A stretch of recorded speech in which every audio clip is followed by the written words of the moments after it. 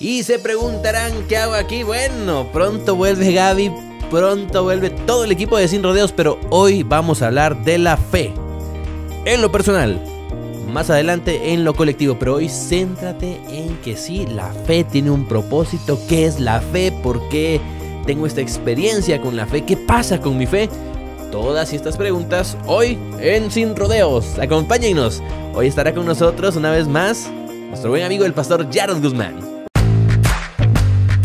Conéctate y hablemos sin rodeos. Sin rodeos. Y esta es una edición sin rodeos con los boys. bueno, hoy no nos acompañan ni la conductora principal, Gabriela Coronado Pastor, ni tampoco la licenciada. No sabemos el por qué, pero tampoco nos quedamos con la incógnita, porque ya sabemos que algunas respuestas no siempre llegan. Pero bueno, eh, hoy es, eh, bien lo dijiste, es un programa de caballeros, ¿verdad? Así que es entre nosotros. Ah, sí, sin rodeos. Esta vez, bueno, deseando lo mejor en las actividades a la licenciada Gaby, pronto volverán, no se preocupen. Hoy vamos a tener una conversación con el pastor Jared Guzmán, nuestro buen amigo, ya parte no de la banca, sino un titular de Sin Rodeos, y vamos a platicar de la fe. De esto que Pastor, muchas veces nos dicen que aunque es una palabra pequeña, debiéramos de vivir en su grandeza, ¿no? Eh, es correcto. De hecho, eh, Jesús cuando eh, realizó su ministerio terrenal en esta, en esta, valga la redundancia, en esta tierra, él mencionó una parábola la, que, y mencionó que la fe es como una semilla de mostaza, que es la más pequeña de todas, pero llega a esa semilla llega a dar un gran árbol. Igual es, es la fe, se siembra en algo pequeño y florece. Y, y, es maravilloso, pastor. Muchas veces podemos centrarnos en la fe, en lo colectivo, porque tenemos fe y hablo de tenemos fe, eh, con nuestra congregación, con nuestra familia, con nuestro equipo de trabajo, en un proyecto, pero vamos a ir un poco más profundos y directos hablando de esa fe personal. Yo quiero preguntarle, iniciando aquí con lo característico que hace sin rodeos, esas preguntas que nos llevan a, a, pensar realmente y, y, tomar en cuenta lo que, lo que Dios espera de nosotros. Así claro, ¿verdad? ¿Qué es esa fe? ¿Qué es la fe para Dios? ¿Qué debiera ser la fe para nosotros? Eh, hablando en un término, eh, digamos, eh, secular o un término humano, fe es un sinónimo de confianza. todos los seres humanos tenemos fe. Es decir, confiamos en un sistema, confiamos en la familia, confiamos en un trabajo, confiamos en que nos va a ir bien. Eh, regularmente está, es un sinónimo de confianza. En la palabra de Dios también es un sinónimo de confianza, pero va relacionado en confiar en Dios.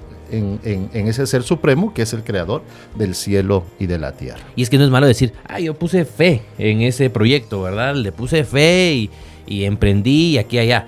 Pero, tal cual lo menciona usted ahora, esa fe en el plano que Dios quiere mostrarnos no es algo pequeño, va más allá. Y es correcto. Eh, mencionábamos que los seres humanos siempre tenemos confianza, ¿no? En las cosas, en los proyectos, en la vida o en las personas. Sin embargo, la escritura nos dice que realmente el hombre que confía en el hombre, es decir, el que confía en lo humano, es una persona que está bajo maldición pero el que aprende a confiar en Dios está bajo bendición. Estoy tratando de, decirlo más suave, ¿no? La Biblia es un poquito más, más cruel. y, pastor, ahora entrando en el tema de la confianza. Bueno, yo confío, en pocas palabras podría decir, creo, ¿no? Pero ¿qué es creer? ¿Creer es acaso igual que tener fe? Me, acuerdo de, un padre de familia que a Jesús le dice, eh, aumenta mi fe, ayúdame a creer cuando hacía falta ese ingrediente, ese toque para que sucediera algo impresionante en la vida de ese hombre y su familia. Eh, fíjate Pablo que tu pregunta es muy, muy interesante y amigos que están sintonizando este programa. Eh, en el vocablo bíblico, ustedes saben que la Biblia no fue escrita en español, no fue escrita en inglés, fue traducida a esos idiomas. Pero el idioma. griego, eh, entre otros, ¿verdad? Eh, eh, y hebreo, ¿verdad? Son los tres idiomas en los que fue escrita tanto el Antiguo como el Nuevo Testamento.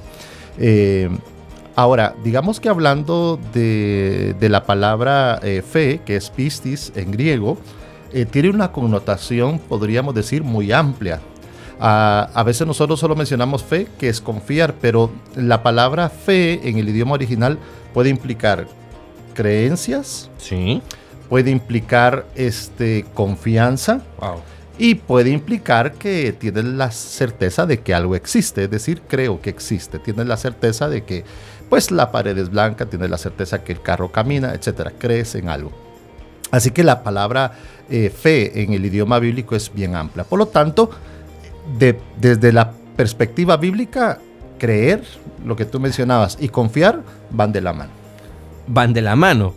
Pero ahora quiero. me perdona. Pregunta contra la espada. Para mí me lo pusieron aquí. Ajá, sí. Eh, ya vamos a, las orejas. También me pueden O sea, en misma- ausencia siempre nos meten en problemas. perdón, tengo que cumplir con, con parte del esquema del programa y es la pregunta contra la espada de la pared. Usted habla de las similitudes que existen, Sí. que van de la mano, pero hay una diferencia entonces. Debe haber una, una- una diferencia que nos dice que algo es creer y otra es tener fe. ¿Cuál es la diferencia entre ambas acciones? Eh, digamos, eh, fe puede, dijimos, puede, eh, tiene tres aspectos. Creer, Sí. confiar y tener un grupo de, de- de aspectos en los que en los que estoy seguro de que, de Ah, que existen. La O sea, certeza que puede dar, ¿verdad? te puede dar. Ahora bien, este, digamos, creer, eh, dice la escritura en Hebreos 11.1. Ahora bien, la fe es la certeza, es decir, la seguridad Ah. De lo que se espera, la convicción de lo que no se ve. Desde la perspectiva bíblica es estar seguro de que algo existe aunque yo no lo veo. Sí. Eso es, eso es creer y confiar. Alguien puede creer que está esa puerta, pero quizás puede y que esté cerrada con llave. Y yo creo porque lo estoy viendo. Eh, ahí está esa puerta. Digamos que está cerrada con llave. Y alguien dirá, ¿será que se puede abrir sin llave? Eso ya me llevaría a confiar en algo mucho más grande eh, de, lo, de lo natural. Así que creer, podemos decir que es lo básico, confiar ya va en un grado más sobrenatural. Muy bien. Y entonces, siendo nosotros creyentes, pastor, siendo cristianos, eh, ¿podemos aumentar nuestra fe? ¿Cómo? ¿O, o solo Dios da esta capacidad? ¿Necesita de, de nuestra disposición también, de alguna parte que nos confía Dios que hagamos? Eh, la Biblia menciona eh, que la fe es un don de Dios en primer lugar. Es decir, Dios otorga ese regalo a todas las personas. Ahora bien, ese, ese en primer lugar es un don de Dios. Sin embargo, también como seres humanos nosotros podemos fortalecer esa fe o debilitar esa fe. Sí. La Biblia dice en Romanos 10, 17, así que la fe es por el oír y el oír la palabra de Dios. Es decir, aumento mi creencia singular, aumento mis creencias plural y aumento mi confianza en Dios, eh, por supuesto, eh, a través de la escritura, a través de la palabra. Así que, aunque es un don de Dios, si yo quiero aumentarla, si yo quiero fortalecerla, sería la palabra más, más correcta. Si quiero fortalecerla, es a través de la palabra. Por el contrario, puedo debilitarla también, eh, no alimentándome de la palabra de Dios. Sí, es como, como todo lo que, lo que hacemos, ¿verdad, pastor? A medias, sin resultados. es correcto, sí. ¿verdad? Y, y hoy con el tema de la fe personal, eh, muchas veces escuchamos frases como estas, voy a mencionar, no, yo sigo los pasos de mis padres, los buenos pasos de mis padres, pero esto no es realmente entonces eh, alimentar esa fe o tener un compromiso con, con alimentar mi fe personal. Vamos a ir entrando así como en puntitos y tópicos más de, de sin rodeos, hoy hablando de la fe personal.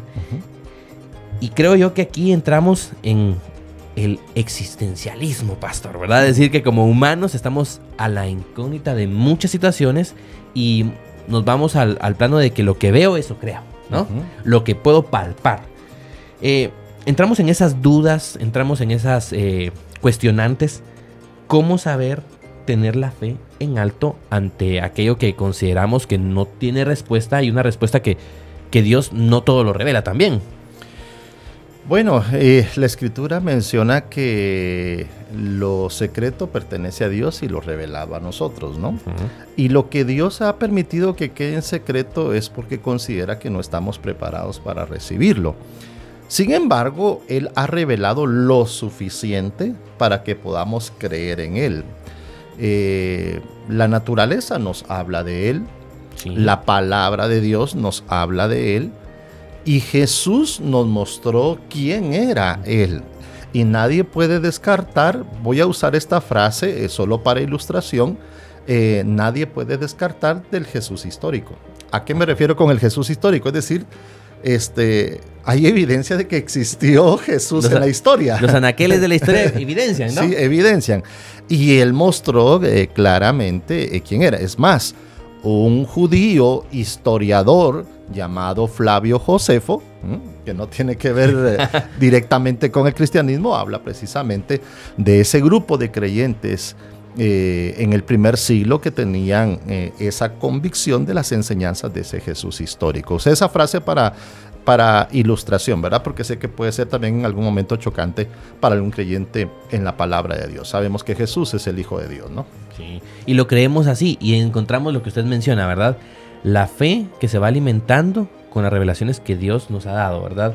La vida misma es una revelación, pastor, ¿verdad? Y en muchos aspectos eh, tomamos eh, quizá los misterios como un tropiezo y que esto no sea la oportunidad para perdernos la experiencia de conocer a Dios y tener fe. Y fíjate que solo quisiera agregar algo, venía algo a mi mente. Y dijimos al principio que todos los seres humanos tienen fe, ¿no? Sí. Voy a ponerte un ejemplo. ¿Tú crees que eh, las personas que eh, simpatizan con la teoría de la evolución tienen fe? Sí. yo te cambié la pregunta. Bueno, sí, yo, creo que tienen fe, pero no precisamente la fe que hoy estamos hablando y que en otros programas hemos desarrollado, por ejemplo. Es una fe en, en tal teoría, ¿no? Sí, eh, y, tienen confianza en que los estudios que pudo haber, eh, hecho Charles Darwin eh, son veraces. Pero la pregunta que podríamos mencionar, porque algunos dicen, mire, ¿por qué debo tener confianza en que Dios existe? ¿Por qué debo creer que Dios existe? ¿O por qué debo tener confianza en la palabra de Dios si esa la escribió un hombre? Pues muchas veces este, tildamos a la, a la palabra de Dios o al creyente de que cree en algo que no está seguro pero de igual que cree en la evolución, no está seguro de, O sea, la pregunta es, ¿qué me garantiza a mí que realmente esos estudios los hizo Charles Darwin? Aunque, ojo, hay muchas premisas que no fueron originadas en Charles Darwin. Ya tenía antecesores, ¿no? No, y, que vemos también algunas inconsistencias y entraríamos en una serie de debates ahí, ¿verdad, pastor? Es decir, traje esto a colación, podríamos tener debate, no para debatir, sino decir, todo el ser humano confía en algo. Es decir, eh, ¿Tú confías en que dejaste eh, apagada la hornilla de la de la de, la, estufa de la cocina sí. o que dejaste apagada la computadora o apagué las luces confío en que sí lo hice. Es decir todos tenemos eh, confianza como decimos personal general. Pero bíblicamente la fe está basada realmente en confiar en Dios. Muy bien. Pastor entrando en la vida cotidiana mi rutina eh, pues mis actividades, hábitos y más. ¿Es necesaria la fe? Definitivamente. Eh, no, no podemos caminar eh, sin fe. La Biblia dice, sin fe es imposible agradar a Dios. Este esto no fue una pregunta contra la espada de la pared. sin fe es imposible agradar a Dios porque el que se acerca a Él, dice, debe creer que existe y que recompensa a los que le buscan. Entonces la fe es indispensable. Y, repito, aquí hay amigos que nos pueden ver o, tal vez nos pueden estar escuchando a través de la radio y alguien va en su vehículo y sintonizó porque quizá le gustan los programas variados y de casualidad cayó en este programa y es una persona que no cree en Dios, que cree que todo es producto de la, digamos, de la naturaleza o del esfuerzo humano y que sobrevive el más fuerte sobre el más débil. Eh, usted también tiene confianza en algo, confía en que en este momento va a llegar a su destino. Sí. O sea, confía en que todo va a salir bien, o sea, confía en que el auto no le va a fallar, confía en que, en que va a llegar a tiempo. Es decir, todos manejamos confianza y fe. Por lo tanto, la fe no es algo ajeno a la vida del ser humano. Lo importante es saber en qué tengo depositada mi fe y quizás decirlo de una mejor manera, en quién deposito mi fe. Eh, la fe es nuestra confianza de que Dios existe y que recompensa a los que le buscan. Ah, bueno, pastor, aquí, aquí también tomando en cuenta que usted menciona, ¿en quién he puesto mi fe? Es algo que nosotros comúnmente decimos, como creyentes, como cristianos, eh, pero ¿la fe me une a Dios? Usted mencionaba la barrera. Sin fe es imposible agradar a Dios. Casi que la respuesta está ahí, pero para no desalentar a nadie, porque eso no significa que Dios nos, nos rechace, ¿verdad? Eh, puedo tener una fe simple, ¿no? Lo que dijimos, una creencia. Mm, porque, digamos, si desmenuzamos la palabra fe, dijimos que era eh, creer algo, sí. creer en algunos aspectos y número eh, tres, confiar. Sí, la confianza está ahí. Eh, a veces, eh, digamos, la confianza o la fe que se tiene, alguien dice, mire, yo tengo fe, pero no, no en Dios. Es decir, él tiene, lo que está diciendo es, tengo confianza, creo en algo, ¿no? Y puede alguien tener fe y, y no confiar en Dios, sí. Puede confiar en su esposa, pero no en Dios. Pero aquí es donde mencionamos cuán importante es dónde colocar nuestra confianza. El ser humano es cambiante el ser humano eh, no es una base segura para confiar. En cambio, Dios es eterno.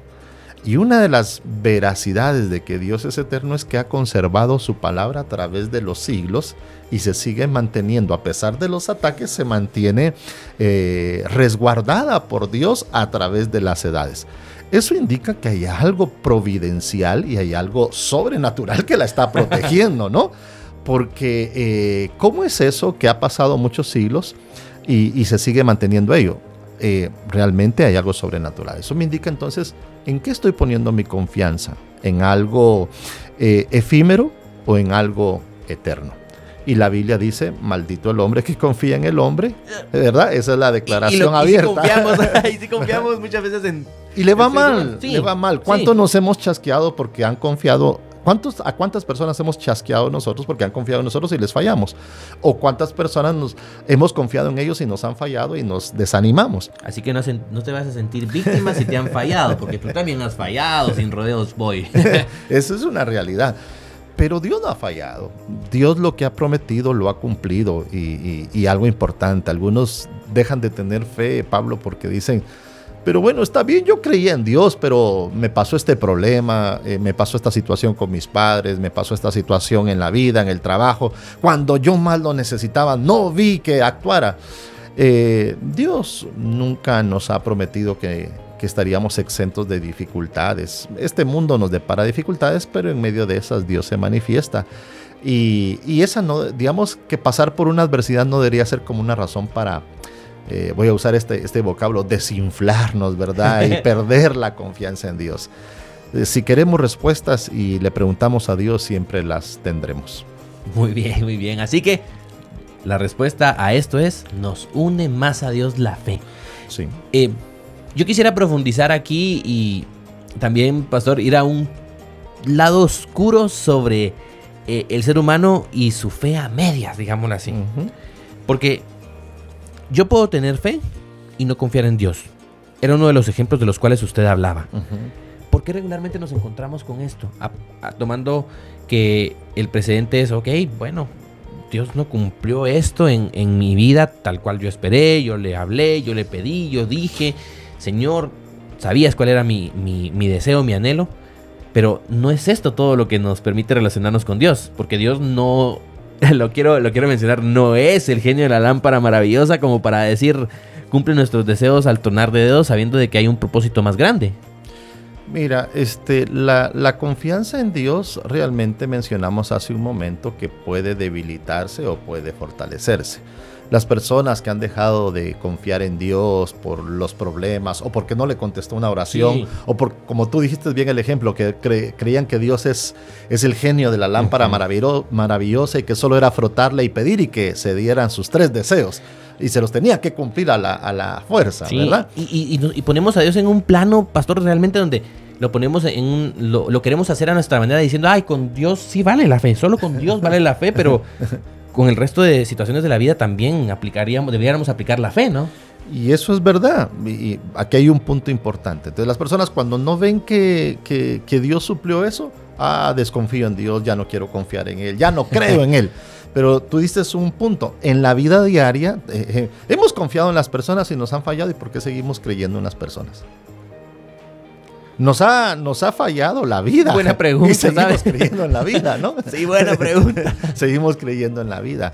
Este, es decir, el ser humano es como muy conveniente, ¿no?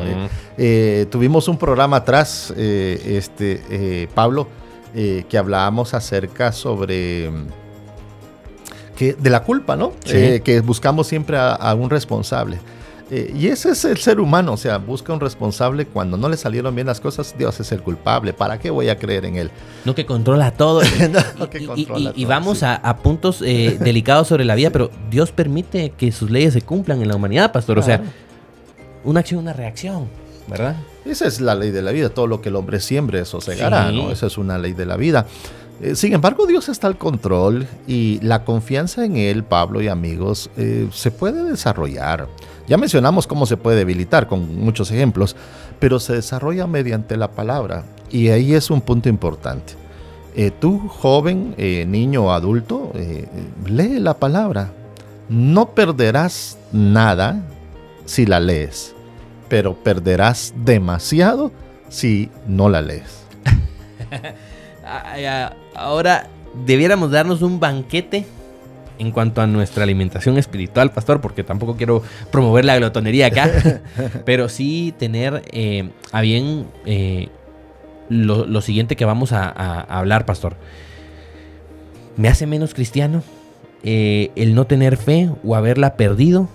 Porque es uno de la, una de las maneras con las cuales yo me vinculo con Dios. No puedo decir que tengo una buena relación con Él si no confío en Él.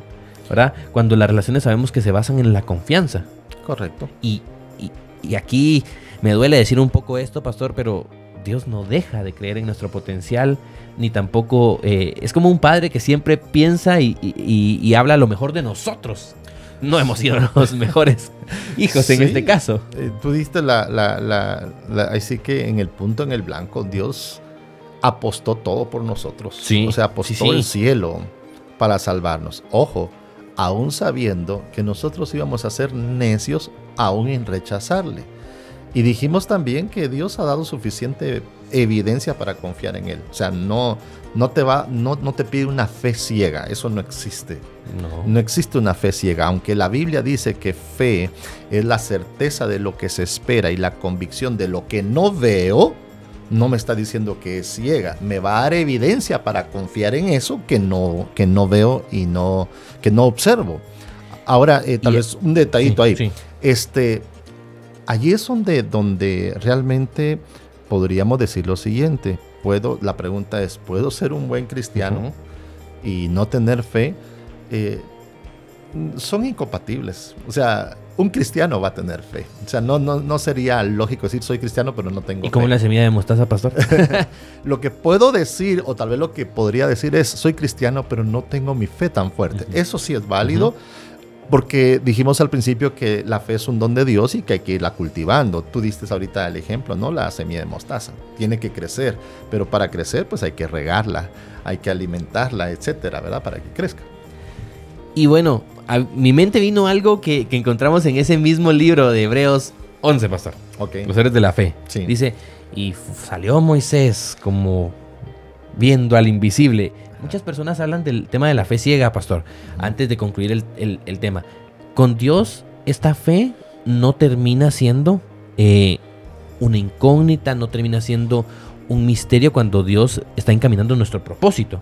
¿Qué decir sobre eh, aquella persona que dice, perdí la fe, no creo más, no confío más. ¿Qué puedo hacer? ¿O qué hacer cuando llego a ese extremo de la vida? Eh, tuvo que haber pasado muchas situaciones. En primer lugar, se debilitó su vida espiritual.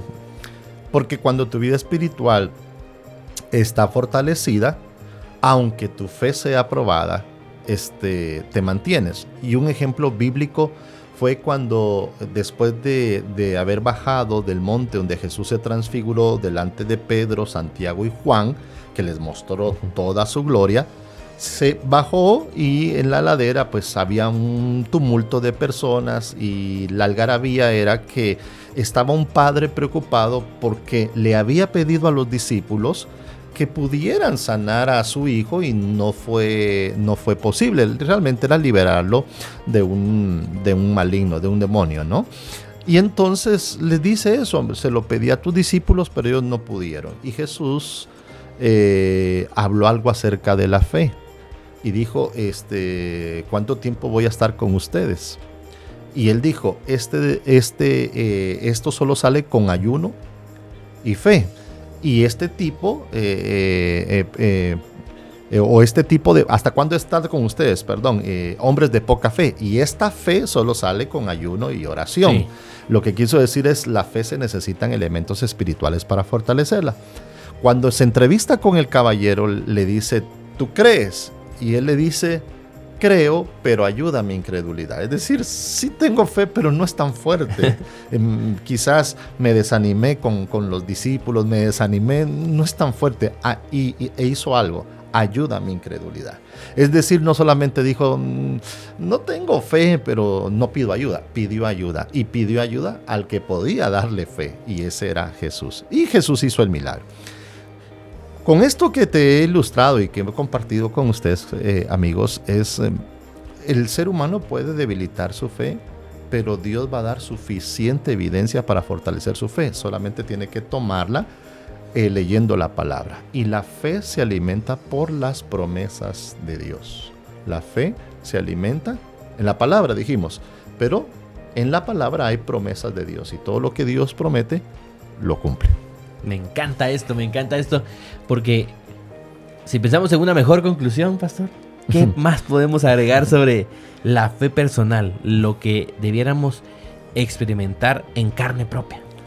Mira, en algún momento puede hacer que te sientas desanimado y digas estoy perdiendo la fe. ¿Puede ser eso real, Pablo? Sí, puede ser que tu fe la estás perdiendo.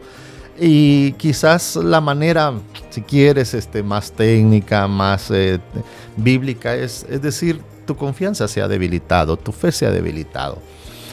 Pero no es que desaparezca realmente. Lo que sucede es que eh, tu vida está tomando control otras cosas y no la fe o la confianza en Dios. ¿Qué hacer?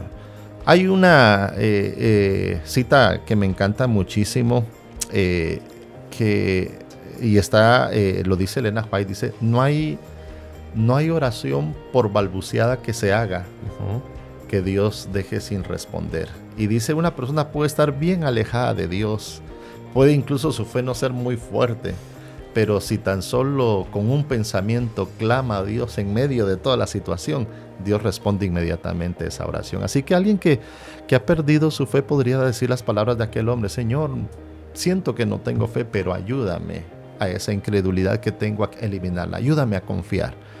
Y número dos, vaya a la palabra. Y en ese relacionamiento con Dios, su fe nuevamente va a resurgir, por decirlo de esa manera, y se va a fortalecer. Muy bien, muy bien.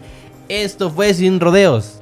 Nosotros también podemos tratar un tema, pero queremos que vuelvan Gaby y la licenciada, por supuesto, ¿verdad, pastor? Claro, les extrañamos, les extrañamos bastante, pero gracias también por darnos nuestro tiempo de caballeros. Sí, y para ti, el tema de la fe, muy importante. Lo que estés experimentando hoy en tu relación con Dios puede ser lo mejor. Pero te dejamos hoy la invitación a que puedas dar el paso y que sea un paso de fe. Sin rodeos. Bueno, hasta aquí todas las preguntas que se nos ocurrieron sobre la fe, pero deja las tuyas en los comentarios de esta transmisión en vivo, tanto en Facebook como en YouTube de Unión Radio Guatemala, ya lo sabes, sin rodeos. Se presenta en las redes sociales, en Facebook de Sin Rodeos, en Facebook de Unión Radio, en YouTube de Unión Radio, pero estamos para ti.